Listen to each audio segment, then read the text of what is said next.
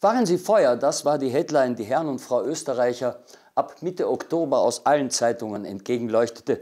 Auch im Radio wurde darauf hingewiesen, dass der Tag des Kachelofens vor der Tür stand. Fange noch Sie Feuer. Am Tag des Kachelofens am 18. und 19. Oktober. Bei Ihrem Hafnermeister. Und natürlich haben wir auch in diesem Jahr wieder einige von Ihnen besucht um zu sehen, auf welche Ideen denn Sie selber gekommen sind, um diese umfangreiche Werbung auch noch zu unterstützen. Die erste Station Vasen bei Yps. Hier hatte die Firma Hafnertech gleich die ganze Umgebung eingeladen, denn es gab wirklich was zu sehen, ein völlig neues Firmengelände nämlich. Mehr als 1000 Besucher kamen und erlebten bei Führungen und Vorträgen mehr als nur ein Highlight. Naja, die wichtigsten Highlights sind bei uns natürlich Kachelöwen. Äh, es gibt zum einen hier das Hafnerbett, äh, wo wir es geschafft haben, mit einer ganz niederen Konstruktionshöhe durchzukommen, wo sogar das Rauchgas äh, unter der Fundamentplatte abgeführt wird. Das zweite ist natürlich unsere Hafner Bar, das ist der längste Kachelofen der Welt, wo es uns gelungen ist, also eine Bar in Form eines Kachelofens herzustellen mit einer letztendlichen Ausdehnungslänge von fast 13 Metern.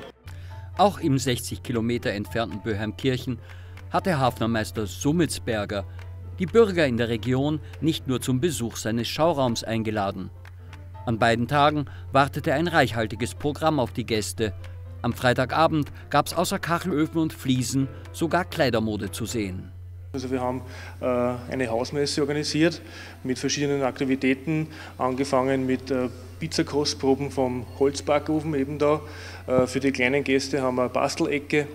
Äh, draußen vor dem Haus brennt schon das Feuer für Steckelbrot äh. Ja. Also auch, dass die Kinder ihren Spaß haben. Am Abend heute haben wir eine Modenschau. Benachbart das Modegeschäft ist da sehr aktiv. Also somit glaube ich, ist für jeden etwas dabei. In Neulenkbach ließen die Besucherzahlen in diesem bekannten Betrieb eher zu wünschen übrig. Dabei hatte Juniorchef Wolfgang Hallach dafür gesorgt, dass der Tag des Kachelofens nicht nur in den Zeitungen und im Radio, sondern auch noch im Frühstücksfernsehen bekannt gemacht wurde. Er nutzte seinen Kontakt mit dem Musikchef des Senders für bundesweite Promotion.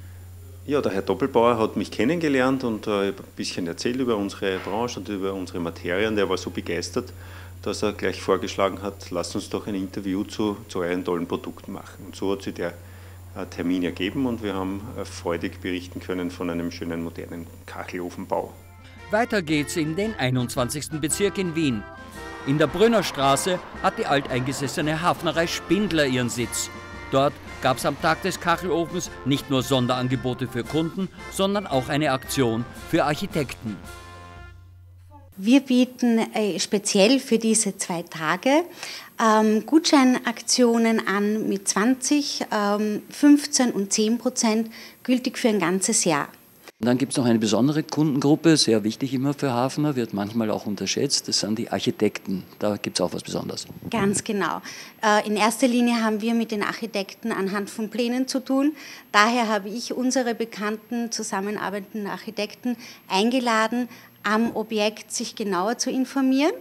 Dafür bieten wir dann auch als Dankeschön fürs Kommen ein Genießerpaket an. Das ist eben ein Paket mit äh, zwei Flaschen guten Wein zum Genießen und zusätzlich die tolle CD vom Kacheloffenverband. Und es waren auch schon welche da? Ja, natürlich. Manche Aktionen waren durchaus überraschend. Zum Beispiel werden Sie sich fragen, was macht der Kachelofenverband beim Merkur? Außer vielleicht den berühmten Werbespruch aufzugreifen, den diese Handelskette hat, den der geheimnisvolle Mann von sich gibt, der dann sagt, es ist verdammt schwer, der Beste zu sein.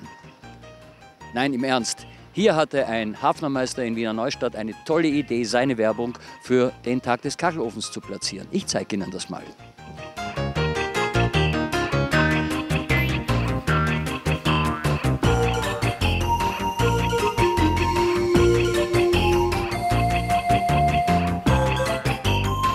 Tausende Kunden wunderten sich über eine Art Ofeninsel, die unmittelbar beim Eingang in den Supermarkt aufgestellt wurde. Hafnermeister Rudolf Golubiniek hatte an dem zentralen Einkaufstempel in Wiener Neustadt für den Tag des Kachelofens geworben, obwohl er schon im letzten Jahr mit dem Besuchserfolg gar nicht zufrieden war. Und so wollten wir ursprünglich heuer gar nicht mehr mitmachen, aber mein jüngerer Sohn, der frisch diplomiert im heurigen Jahr, das Kolleg in Stob verlassen hat und momentan aktiv voll bei mir im Betrieb eingestiegen ist, hat gesagt, na Papa, du einmal probieren wir es noch. Die Ausstellung direkt im Merkurmarkt wurde schon angenommen. Wir haben einige Telefonkontakte, wir haben schon auch in den 14 Tagen jetzt vor dem Tag des Kachelofens die eine oder andere Kundschaft direkt dieser Aktion zuordnen können. Wobei ich sage, es hat jeder eigentlich direkt auf die Ofen angesprochen. Es hat kaum einer den Hinweis, obwohl wir es wirklich groß dargestellt haben, den Hinweis auf den Tag des Kachelofens gesehen. Letzter Besuchsort der 18. Bezirk in Wien. Als Samstagabends für die meisten der Tag des Kachelofens schon vorbei war, ging es hier erst richtig los. Drei Hafnerbetriebe hatten zur Schauraumeröffnung geladen. Tja, der Wiener Ofen ist ein Experiment, Experiment, nennen wir es einmal so. Es ist auf jeden Fall der Versuch, den Kachelofen in Wien wieder eine neue Plattform zu geben, um ihn auch zu stärken und ihn als äh, Heizform auch wieder attraktiv zu machen. Darüber zeigte sich sogar der Bezirksvorsteher begeistert und wünschte den Betrieben von Robert Kopetzky, Werner Bayer, Robert Krotz und Felix Winkler gute Erfolge.